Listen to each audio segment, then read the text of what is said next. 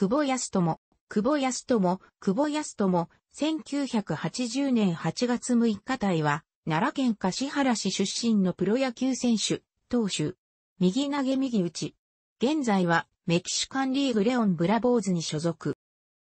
橿原市立鴨校小学校時代は、藤原系、アトグラウンドをホームグラウンドとする少年野球チーム、ホワイトベアーズに所属し、橿原市立八木中学校時代は、軟式野球部でプレーしていた。関西大学第一高校時代は、同校に合宿所がないこともあり、橿原市の自宅から大阪府吹田市の学校まで電車を乗り継ぎ、1時間半かけて通学していた。3年時にはエースとして同校の69年ぶりとなる第70回選抜高等学校野球大会に出場し、松坂大輔、小池正明、後藤武俊、小山義夫らを要する横浜高校に次ぐ準優勝を果たした。夏の第80回全国高等学校野球選手権大会にも出場を決めて、春夏連続出場を果たし、また同校初の選手権大会となったが、8強入りしたものの最後は、寺本史郎、高橋和正らを要する明徳義塾高校に211で敗れた。大会後に中村淳二が率いる第3回トリプル A アジア野球選手権大会日本代表に選出され、同大会優勝に貢献。高校時代の同級生には、工藤和樹がいる。高校卒業後は、松下電機に入社したが、野球部入部当初は度重なる故障に悩まされて、登板機会が少なく、入社5年目の後半から好成績を残して、主力選手に成長した。同年の社会人野球日本選手権大会では、圧倒的優位が予想されていた対、不式海陸運送戦で、リリーフ登板し、4イニングを投げて、最速時速 148km の速球で7、三振を奪ったが、9回裏の先頭打者に死球を与えたのをきっかけに、サヨナラ負けを喫した。はこの時の反省を活かし AS としてフル回転し、後にプロでチームメイトとなる手島聡、能見敦、渡辺良らと共に第2回ハーレムベースボールウィーク日本代表に選出された。2004年11月17日に行われたプロ野球ドラフト会議において自由獲得枠で千葉ロッテマリーンズに入団。松坂世代で最後に自由獲得枠でプロ入りした選手となり、2007年のドラフト会議で北海道日本ハムファイターズに多電や数人が指名されるまでは松坂世代最後の大物と呼ばれていた。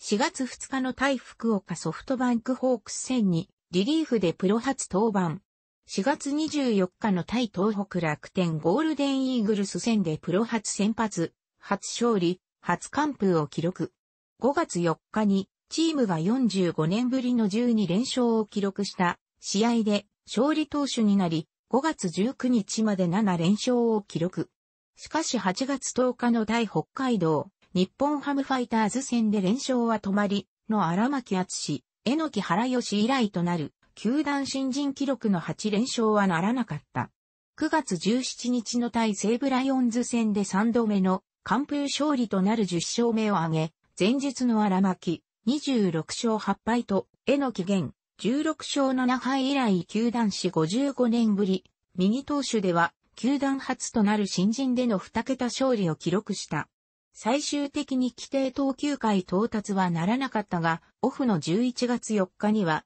球団史上6人目、投手としてはチームが前回日本一になったの3、正春以来となる新人王を獲得。同日に婚約を発表した。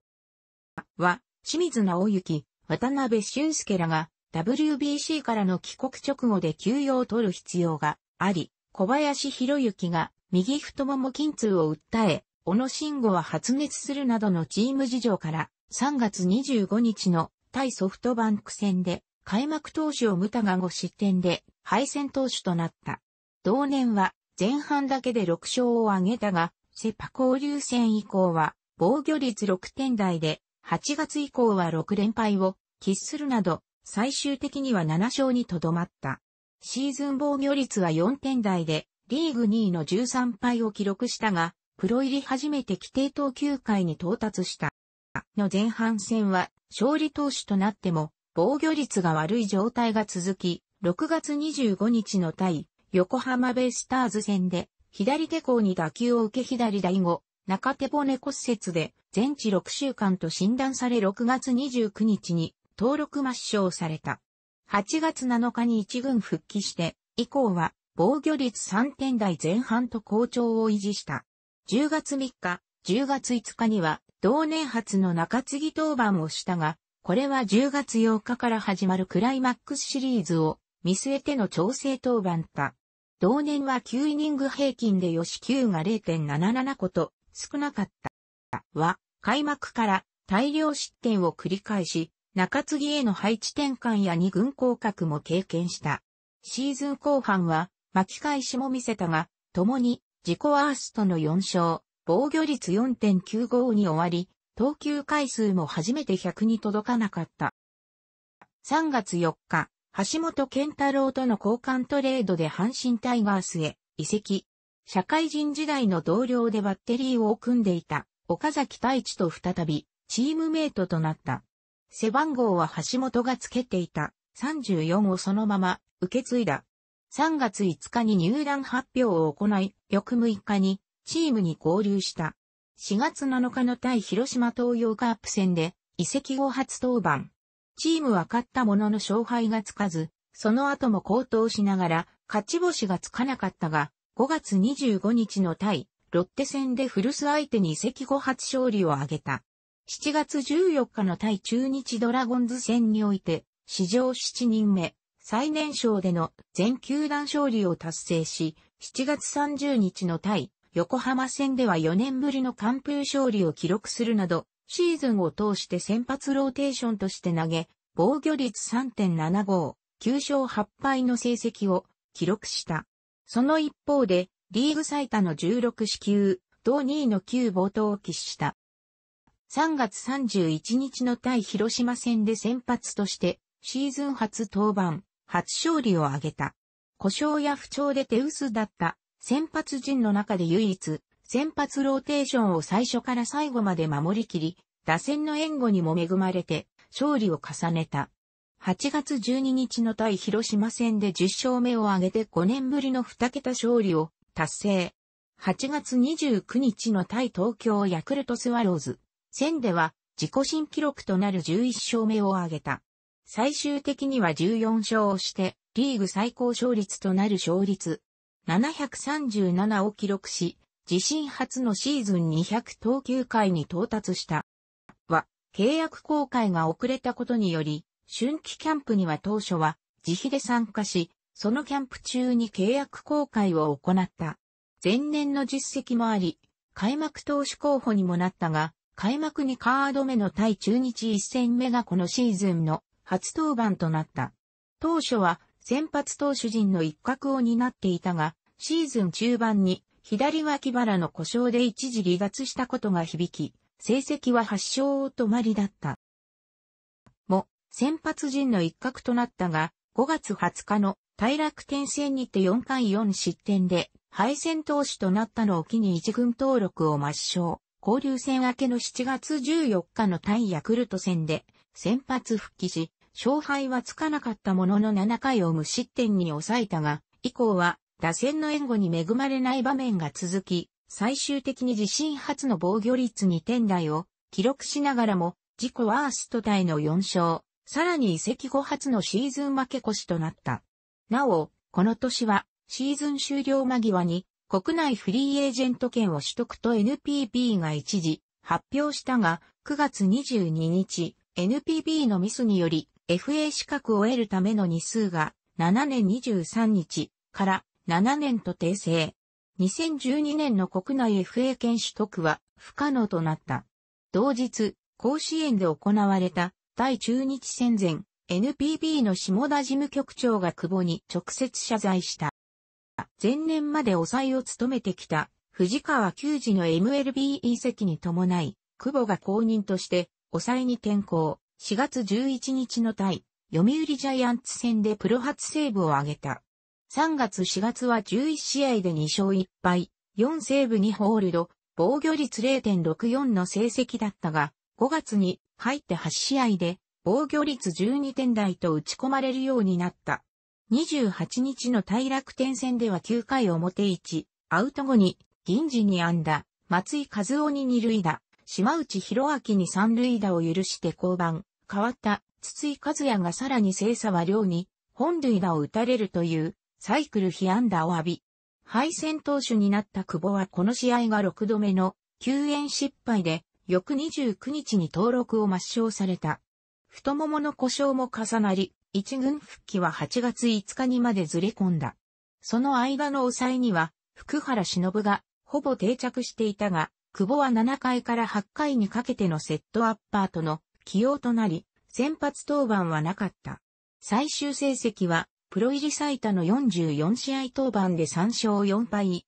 6セーブ11ホールド、防御率2.85の成績を残した。オフの11月15日に国内 FA 権を行使することを表明した。2013年12月2日に横浜 DNA ベイスターズが久保の獲得を発表した。背番号は前身球団の大洋ホエールズで長らくエースの座にあった平松正治が着用していた27には、一軍公式戦の開幕から先発ローテーションの一角を担った。5試合に登板した7月には、高い援護率8.16を背景に、4勝と防御率2.79をマーク。月間 MVP の候補に挙げられたが、受賞には至らなかった。8月終了時点での勝利数は11勝で、リーグの最多勝利を狙える位置にあった。9月には、一軍公式戦5試合に登板。月間投球回数40イニングで、防御率0.90、ホイップ0.85ながら、援護率が1.98にとどまった影響で、一勝を挙げただけにとどまった。結局、最多勝利のタイトルも逃したが、一軍公式戦全体では、自身4年振りの2桁勝利、12勝を記録した。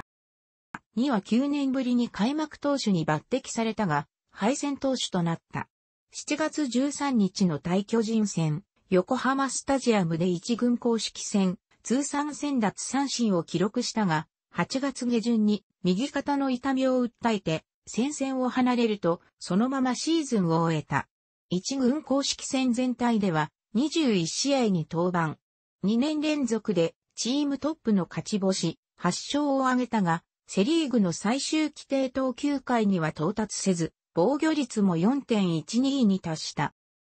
2は、同性の久保優也が入団したことを受けて、スコアボードの表記を久保康氏に変更。レギュラーシーズンでは、8月24日に、古巣の阪神戦、横浜で一軍公式戦、通算1500投球回を達成する一方で、1軍と2軍を4回往復。一軍公式戦全体では15試合の登板で防御率3.55ながら5勝8敗と負け越した。8月25日にはレギュラーシーズン5回目の出場選手登録抹消。チームはレギュラーシーズン3位で史上初のクライマックスシリーズ進出を果たしたが、久保自身にはポストシーズンでの登板機会がなかった。